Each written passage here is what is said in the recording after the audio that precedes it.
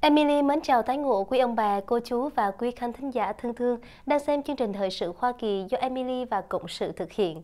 Kính chúc quý vị một ngày mới tràn đầy niềm vui, bình an và hạnh phúc. Trước khi bắt đầu chương trình, rất mong quý vị hãy dành cho MC và ban biên tập một lời yêu thương bằng cách bấm đăng ký kênh để ủng hộ Emily và Cộng sự. Và sau chương trình, xin quý vị hãy chia sẻ những nội dung hấp dẫn này đến với nhiều người hơn để cùng nhau tạo nên một cộng đồng ủng hộ Tổng thống Trump năm 2024. Trở lại chương trình hôm nay, Emily xin gửi tới quý vị những nội dung đáng chú ý sau đây. Tổng thống Trump thà bảo vệ hiến pháp Mỹ hơn là trốn khỏi nhà tù. Chủ tịch Hạ viện Mike Johnson tung đòn knockout đóng bằng ngân sách của biện lý tham nhũng Jack Smith. Biden khiến đảng Cộng hòa phẫn nộ khi tạm dừng vận chuyển bom tới Israel. Và sau đây là phần thông tin chi tiết. Kính thưa quý vị, năm quyết định sự thịnh vượng và bình ổn của nước Mỹ năm 2024, thông điệp trong chiến dịch tranh cử của Tổng thống Donald Trump đã đại diện cho hoàn cảnh khó khăn của nhiều người Mỹ đang phải vật lộn dưới sự chỉ đạo của chính quyền Biden, được tóm tắt bởi hai hệ tư tưởng đối lập, tự do và chuyên chế. Vào thứ hai tuần này, cựu Tổng thống Trump phải đối mặt với ngày thứ 12 tại tòa án ở Manhattan, nơi ông đang ngồi trong nhiều tuần xét xử trong một vụ án được gọi là tiền bịt miệng, phần lớn do biện lý quận Orvin Pratt ban hành. Tuần này, Tổng thống bị phán quyết là vi phạm lệnh bịt miệng thường trực lần thứ 10, dẫn đến việc thẩm phán John Merchant bị phạt 1.000 đô la và cảnh báo rằng những vi phạm trong tương lai có thể sẽ dẫn đến việc bị tống giam. Tổng thống Trump thường lập luận rằng lệnh bịt miệng là vi hiến và trước đó đã chỉ trích thẩm phán Merchant vì mâu thuẫn. Sau các buộc vi phạm lệnh bịt miệng và bị đe dọa ngồi tù, Tổng thống Trump nói với báo chí hôm thứ Hai rằng ông sẵn sàng bị nhốt vì các quyền trong tù chính đáng thứ nhất của mình. Ông ấy nói, thẩm phán này đã ra lệnh bịt miệng, tôi và tôi nói, bạn sẽ vào tù nếu vi phạm. Và thành thật mà nói, bạn biết gì không? Hiến pháp của chúng ta quan trọng hơn nhiều so với nhà tù. Nó thậm chí còn không gần. Tôi sẽ thực hiện sự hy sinh đó bất cứ ngày nào. Nhưng những gì đang xảy ra ở đây thật đáng xấu hổ và các tòa phúc thẩm phải vào cuộc. Hôm thứ Hai, nữ diễn viên phim người lớn Stormy Daniel đã đứng ra làm nhân chứng trong phiên tòa, kể một câu chuyện dài lê thê về bối cảnh của cô ta trong phim người lớn, và sau đó kể lại những cáo buộc của cô về mối quan hệ được cho là của cô với Tổng thống Trump, người đã phủ nhận điều đó. Theo The New York Times, lời khai của Daniel rất tục tiểu, cung cấp thông tin chi tiết về hồi ức được cho là của cô ta về các sự kiện dẫn đến số tiền bịt miệng mà cô được trả bởi Michael Cohen, người đang làm luật sư của Tổng thống Trump vào thời điểm đó. Khả năng Tổng thống Trump bị thẩm phán Merchant bắt giữ vì cáo buộc vi phạm lệnh bịt miệng trong tương lai có thể dẫn đến sự ủng hộ lớn của cử tri cho việc ứng cử Tổng thống vào tháng 11. Luật sư và phát ngôn viên của Tổng thống Trump Alina Habba giải thích vào tháng 4, Tôi nghĩ giống như bất kỳ ai, ông ấy lo ngại về việc phải ngồi tù. Nhưng nếu họ bỏ tù ông ấy vì quyền theo tù chính án thứ nhất, ông ấy sẽ giống như Nelson Mandela. Ý tôi là điều đó thật vô lý và thẳng thắn mà nói, họ sẽ giúp ông ấy thắng cử. Chủ tịch Hạ viện Mike Johnson tung đòn knockout đóng bằng ngân sách của biện lý tham nhũng Jack Smith. Quý vị thân mến, vừa thành công giữ vững búa Hạ viện, Chủ tịch Hạ viện Mike Johnson liền nã ngay một phát súng chí mạng vào đám tay sai đầm lầy Jack Smith. Cụ thể, ông Johnson tuyên bố rằng các thành viên thuộc đảng Cộng hòa tại Hạ viện đang cân nhắc đến việc cắt ngân sách được cấp cho văn phòng của biện lý đặc biệt Jack Smith. Tại một cuộc họp báo của lãnh đạo đảng Cộng hòa tại Hạ viện, Chủ tịch Hạ viện được hỏi rằng xét đến sự phản đối của ông trước việc ông Smith truy tố cựu Tổng thống Donald Trump, thì liệu lựa chọn đó có được xem xét hay không?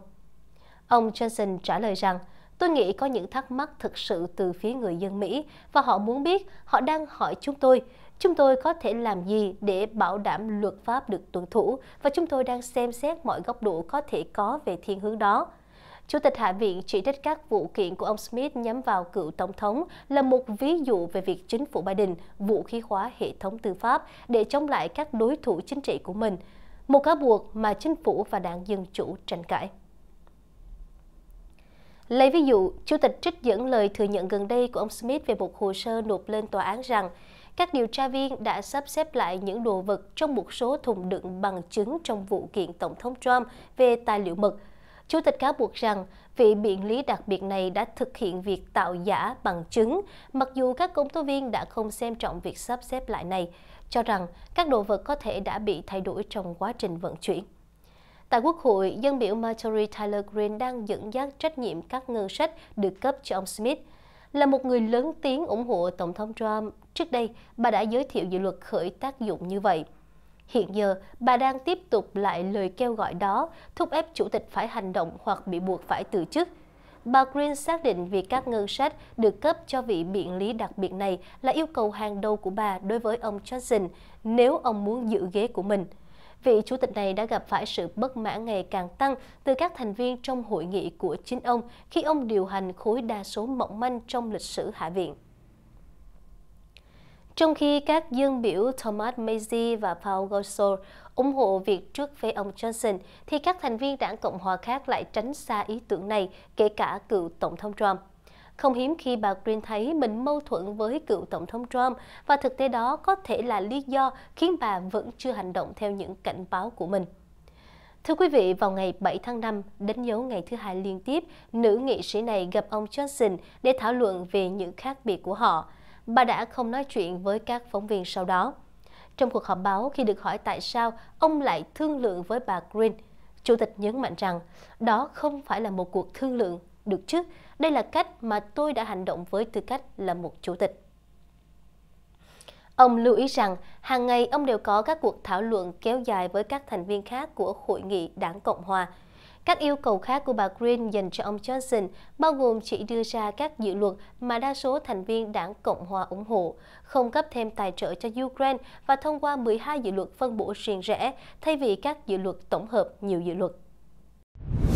Biden khiến đảng Cộng hòa phẫn nộ khi tạm dừng vận chuyển bom tới Israel. Thưa quý vị, động thái của ông Biden nhằm tạm dừng vận chuyển bom hạng nặng tới Israel đã khiến đảng Cộng hòa giận dữ, làm phân cực thêm các nỗ lực của Mỹ nhằm ngăn chặn Israel phát động một chiến dịch đẫm máu tại miền nam Gaza.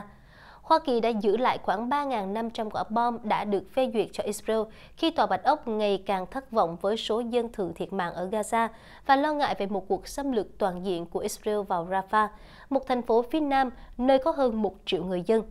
Người Palestine đang trú ẩn nhưng quyết định hạn chế vận chuyển vũ khí là một trong những hành động quan trọng nhất mà Biden thực hiện để khẳng định ưu thế của Mỹ trong cuộc chiến của Israel ở Gaza. Trong khi những người cấp tiến từ lâu đã kêu gọi hạn chế vũ khí như vậy, thì đảng Cộng hòa đã đáp lại động thái này bằng những tuyên bố gây gắt tấn công Biden.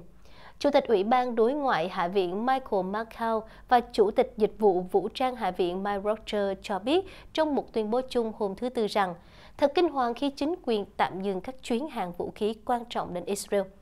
Cáo buộc Biden làm suy yếu an ninh của Israel. Họ nói rằng, hơn nữa, quyết định chính sách tai hại này được thực hiện một cách bí mật và đang cố tình che giấu quốc hội và người dân Mỹ. Vào thời điểm Israel tiếp tục đàm phán một cách thiện chí để đảm bảo việc thả con tin, bao gồm cả công dân Mỹ, sai lầm chiến lược, thiển cận của chính quyền đã đặt ra câu hỏi về cam kết không thể lây chuyển của họ với tư cách là một đồng minh. Bộ trưởng Quốc phòng Lloyd Austin cũng bị đảng Cộng hòa thẩm vấn khi ông làm chứng trước Ủy ban Thẩm định Thượng viện vào sáng thứ Tư. Thượng nghị sĩ Jory Moran cho biết, điều này không gửi thông điệp sai tới đồng minh Israel của chúng ta và khuyến khích Iran và các nhóm được Iran hậu thuẫn sao. Chúng ta không nên ra hiệu cho kẻ thù của chúng ta rằng sự hỗ trợ của chúng ta là có điều kiện. Austin trả lời rằng cam kết của Hoa Kỳ đối với an ninh của Israel vẫn bền chặt và Tòa Bạch Ốc đã cung cấp hàng tỷ đô la cho nước này. Ông Austin nói, nhưng điều đó nói lên rằng chúng tôi hiện đang xem xét một số chuyến hàng an ninh ngắn hạn trong bối cảnh các sự kiện đang diễn ra ở Rafah. Chúng tôi chưa đưa ra bất kỳ quyết định nào.